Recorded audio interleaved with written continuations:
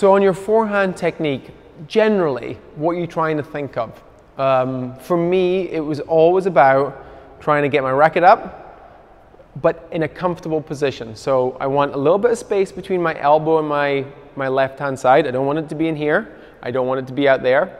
For me, it's about being in a comfortable position. The racket head pointing up and away to the corner, but without a cock wrist. I don't want that. I don't want that. But I want, I want it to go out and away, but I also don't want it to be this. I don't want it to be too far away. For me, my general forehand technique and my thought process is comfort. A little bit away from here, a little bit there, a little bit open, a little bit rotated. And then if I think about now just transferring back and then turning through the shot and hitting it, that feels nice. It feels simple, it feels nice. And then from there, the strike point, I can do what I want with the strike point. I can come inside, outside, under it, roll over, you know, bounce the racket, whatever I want to do, right? At that point. And then you let it go through and away or come round and through. But then you've got the ability to finish it off and finish it through. If I try and go too far away, it comes round and over. If I try and come too far in, I can't get out. If I'm too far back here, it's flat.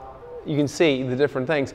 I would encourage everyone to find a comfortable area with the racket open, the grip semi-cocked, the elbow slightly in, not too far out, not too far away.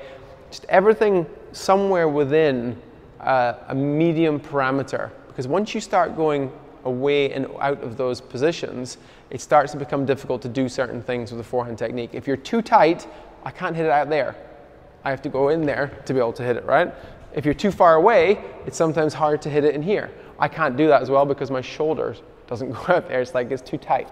So just again, forehand technique for me, think about finding a nice happy medium position with your racket, your elbow, your arm, your shoulder, your wrist, just something that feels natural and comfortable.